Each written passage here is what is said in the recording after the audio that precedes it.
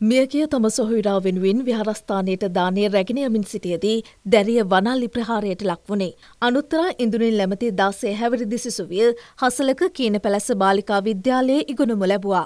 ඇය පසුගිය සාමාන්‍ය පෙළ විභාගයට පෙනී සිටි අතර එහි හෙට පැවැත්වෙන ප්‍රායෝගික පරීක්ෂණ සඳහා සහභාගී වීමට සූදානම්ව සිට තිබෙනවා. මෙම පාසල් සිසුවිය විහාරස්ථානයට ගොස් තිබෙන්නේ සිය මව සහ පියා සමගයි.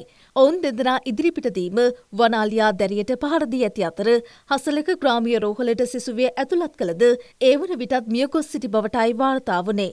එම ගම්මානයේ ආසන්නයේ අලිවැටක් ඉදිකර තිබුණද වනාලින් එම අලිවැට පෙරලා නිරන්තරයෙන් ගම්වතිර බවයි ප්‍රදේශවාසීන් පවසන්නේ.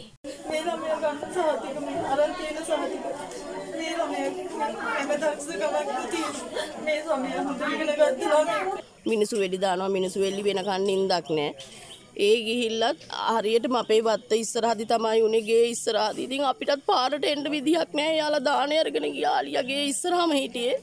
කෑ ගැව්වා. නංගිට ගැව්වා කියලා නැන්ද කෑ ගැව්වා. ඒ උනාට අපිට ගෙට එළියට එන්න විදිහක් නෑ. මොකද අලියා පන්නනවා. මිනිස්සු ඔක්කොම ඈත තියා කෑ ගහන්න විතරයි උනේ. ඉතින් මේ ප්‍රශ්නේ විසඳෙන්නේ නෑ. හඳ හයාමාරයට ගාමට ගිහිල්ලා ළමයි එනවා. දැන් ඊයර එනකොට කොච්චර වෙඩි කිව්වා ඇහුණා සද්දේ. එනවනේ මිනිහෙක් එන්නේ නැහැ බලන්න අලි බලන්න. වණජියක එනවා දෙනවා අලි වෙඩි දෙකක් දීලා යනවා යන්න. මෙන්න මේ පාරව සුද්ධ කරන්න බෑ අලියෙක් ආවට පාරක පේන්නේ නැහැ මේ අත්තරිච්ච වතු දිනවා සෑහෙන්න. එහෙමත් කරලා දෙන්න ගාමසේකට කතා කරපුවද ගාමසේක ආවේ නැහැ මේ පෙට්‍රෝල් සුද්ධ කරලා දෙන්න. අලි වැට හදලා තියෙන්නේ ආංකල් අඩි භාගයක් විතර වගේ මේ මේ වලක් කපලා මේ වලවල් තියෙන්නේ. නමුත් නැත්තේම මේ අලි වැට සත්‍යමත් නැති හින්දා අලි ඇවිල්ලා මේ තල්ලු කරලා දාලා අලි ගම්මන්ඩ ගොඩ වෙන ගන්න ගම්මන්ඩ ගොඩ ගම්මාන කුඹුරු වලට යනවා. කුඹුරු වලට ගිහිල්ලා කාලා එනකොට තමයි ඇත්තෙම මේ වගේ සිද්ධි ඇති වෙන්නේ.